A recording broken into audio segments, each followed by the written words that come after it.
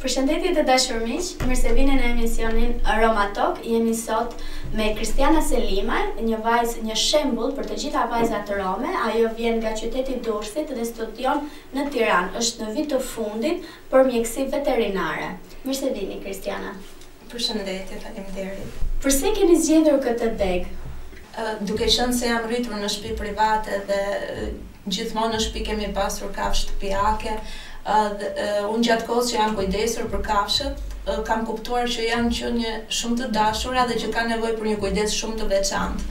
Pra kanë nevojë për kujdesin shëndetësor, që në momentin që unë jam kujdesur për to kam kuptuar dhe kam vendosur gjithashtu që të jem një mjeke veterinere dhe përveç se të jem vet, përveç se të jem mjeke veterinere, në të ardhmen të mund të krijoj një strehë për kafshët në nevojë.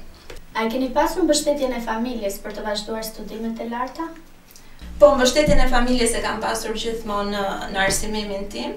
Ë, i vetmi debat që unë kisha me babin ishte se ai donte që unë të bëhesha një juriste, por unë doja mjeke veterinere dhe këtë zgjodha.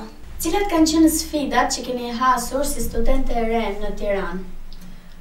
Përshtatja me jetesën në Tiranë, ka qenë njohja dhe krijimi i marrëdhënieve me me shokët në universitet, krijimi i shoqërisë dhe jetesa larg familjes, sepse ishte hera e parë që unë që unë qëndroja larg familjes dhe që jetoja larg tyre. Cili është mesazhi që do t'i jepnit vajzave rome? Duke qenë se unë jam angazhuar me organizatat rome gjatë aktivizmit tim, jam përpjekur të motivoj sa më shumë vajzat rome të arsimohen, dhe të ngrenë dhe të ngrenë zërin për të drejtat e tyre. Gjithashtu nëpërmjet këtij emisioni dua t'i bëj një thirrje prindërve prindërve romë që të lejojnë vajzat të kenë mundësi zgjedhjeje ashtu siç kam vepruar dhe unë që kam zgjedhur vetë degën time sepse nëpërmjet arsimimit do të kenë më tepër mundësi punësimi dhe një jetesë më të mirë dhe më pak probleme socio-ekonomike. Faleminderit Kristiana që ishe sot në Roma Talk. Faleminderit miq që na ndoqët, shihemi në puntata të ardhshme. Mos harroni like subscribe në YouTube channel.